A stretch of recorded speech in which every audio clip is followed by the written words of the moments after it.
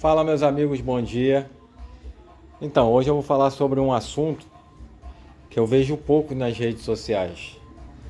É, geralmente o pessoal fala sobre temperatura do amplificador, que o amplificador esquenta muito, que o amplificador é isso, que o amplificador é aquilo. Claro, é evidente, quando a gente fala em alta temperatura, a gente está falando de certa forma em perca de rendimento né? seja ele no alto-falante, no amplificador também, quando ele esquenta além do normal. Só que a gente não pode deixar de passar sobre a temperatura do carro. Né? Aquele amplificador ali, ele vai entrar aqui dentro desse carro. É, existe um estudo, vai entrar aqui, tá? O, o, o painel, né? Você pode ver que não vai ficar obstruído os amplificadores, vai ficar virado para frente. Mas foi feito um estudo há pouco tempo falando sobre a temperatura dentro do carro, que ela aumenta até 80% a mais com o carro 30 minutos no sol. Somente 30 minutos. É, por exemplo, a temperatura aqui fora, ela está batendo uma. Esse carro aqui, eu já sabia de duas horas, né?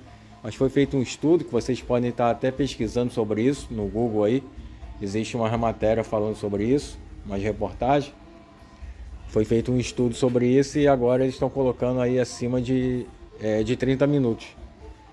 Né? Então o que acontece? A temperatura dentro do carro, com o carro todo fechado no sol, sempre vai ser maior do que externamente, porque o carro está todo fechado. Né? Todo fechado. Né? Se você for comparar, por exemplo, a um carro sem insufilme nenhum, não vou falar nem nessa parte de insufilme, porque isso aí vai agregar outros, outras informações e eu não quero frisar sobre isso nesse momento. Eu quero frisar sobre a temperatura do amplificador e a temperatura dentro do carro, com seus amplificadores dentro do carro. Tá? Então aqui sempre vai estar tá muito mais do que externamente se o teu carro estiver no sol e durante muito tempo. Até na sombra, com ele todo fechado, aqui sempre vai estar um pouco mais tá? Sempre vai estar um pouco mais. Então o que que acontece? Ontem eu peguei esse termômetro aqui, ó, aproveitando a oportunidade, indicar para vocês. É um negócio que não é caro, não precisa trabalhar no ramo, tá? Isso aqui não foi feito exclusivamente para o som automotivo. Isso aqui o pessoal usa até em hospitais, na triagem, né? Para medir a sua temperatura. Ontem eu fui medir aqui, tava batendo 48 graus o som desligado, tá desligado, tá nem conectado no carro ainda, tá vendo? Ainda vou puxar os fios da bateria aqui. Tava batendo 48. O que tava batendo menos era esse, 46 graus. Por exemplo, aqui se eu medir aqui agora, ele tá aqui na sombra, mas aqui, por exemplo, tá calor, né? Ele vai estar tá batendo isso aqui, ó. Ó, 36 36 35, 36. Está vendo? 35, tá vendo? O ambiente em si, ele tá praticamente a mesma coisa. Então o que acontece? Não adianta a gente falar só do amplificador, que o amplificador esquenta muito, e não falar que o ambiente em si, ele também modifica em relação à temperatura. Né? Se você pegar, por exemplo, no tempo frio, provavelmente você vai pegar esse amplificador esquentando bem pouco ele vai ficar praticamente na base da temperatura ambiente. Agora, se você pegar num calor de 35, 40 graus, ele também vai ficar na temperatura ambiente, mas como está muito calor e isso aqui está dentro do carro, ele vai ficar quente. Então, quando você liga isso, o coolerzinho desses amplificadores são pequenininhos, tá vendo? E ele ainda tem o Smart Cooler, né? Eu não sei esse MD3000 se ele tem dois estágios ou três estágios. Tem um MD1200 não sei se é a versão 1 ou 2, que ele tem três estágios. Já o menorzinho quadradinho, ele tem dois estágios.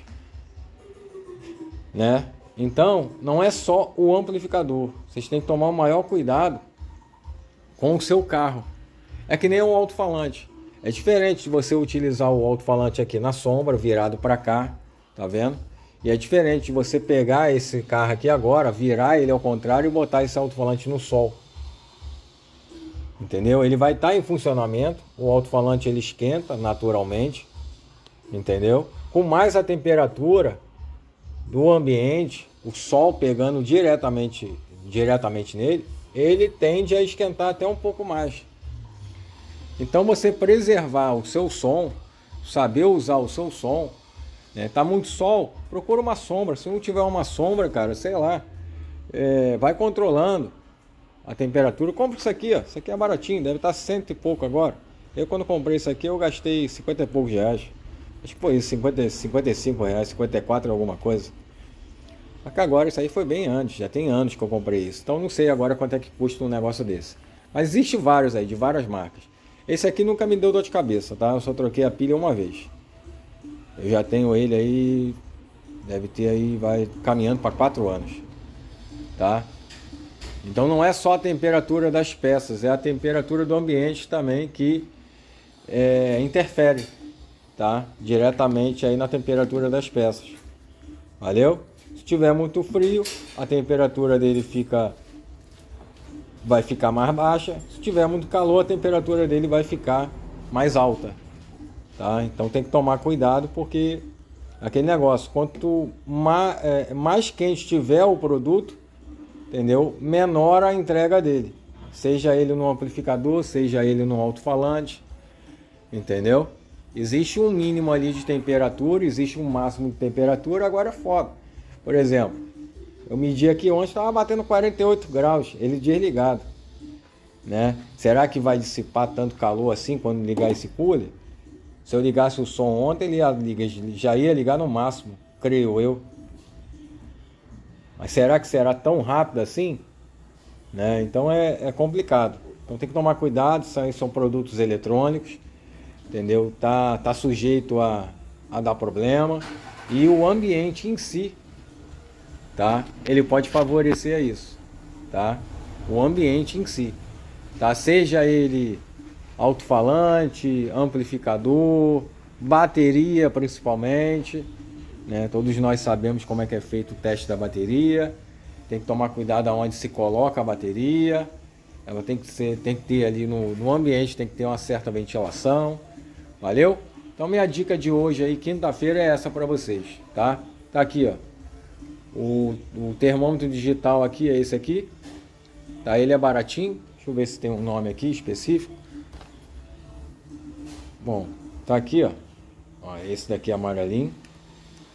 Vocês não acharem esse, procure aí um, um paralelo a esse. Esse aqui nunca me deu problema. Procure um paralelo a esse. É barato, não custa nada. Tá? É só vocês medirem aí, ficar controlando. Entendeu?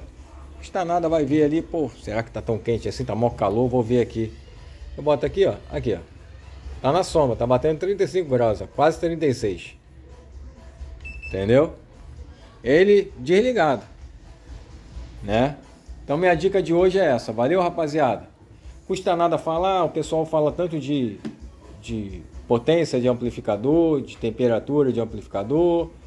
Alguns falam que o amplificador esquenta muito. Ah, outros falam que ah, o amplificador esse daqui não esquenta nada, né? Então é, é importante falar sobre a temperatura do ambiente, que também favorece ao aquecimento do produto. Valeu, rapaziada. Tamo junto. Um abraço a todos. Ó, tá quase saindo, faltando um pouco. Valeu? E aproveitando a oportunidade aí, aquela pedida básica da básica. Quem não é inscrito no canal, se inscreva no canal, ative o sino de notificações, dê seu like. Para quem é inscrito, mas ainda não ativou, tá? Ative o sininho de notificações, dê seu like para ajudar o canal. Vocês me ajudando, eu vou estar ajudando vocês aí com dicas, o meu dia a dia, coisas que eu passo aqui com o cliente, dúvidas de cliente. Valeu?